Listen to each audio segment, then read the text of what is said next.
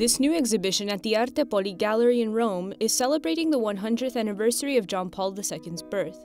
It will be open to the public until April 2, 2021, the anniversary of the saint's death.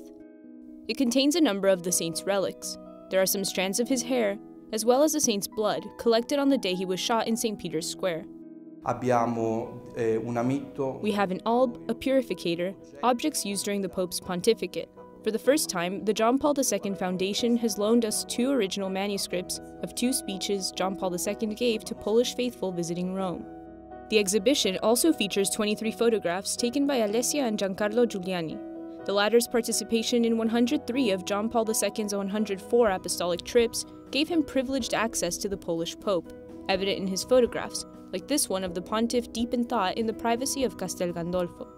Giuliani, who for many years photographed for the Italian magazine Famiglia Cristiana, is especially proud of this one of a kind photograph he took on Goree Island. I managed to take this picture. The Pope, when he saw me, smiled and winked at me because he's always had a soft spot for photographers, for the press, for image. It's precisely this Pope, a man of the people, that Giuliani saw and wanted the rest of the world to see. He captured it here, with another one of a kind shot of the Polish Pope carrying this little girl, and in this photo of John Paul II and Mother Teresa. Completing the gallery are works of art by Albano Poli, founder of Progetto Arte Poli. Among them is a small scale rendition of the suffering John Paul II found at the Cathedral of Ancona in Italy.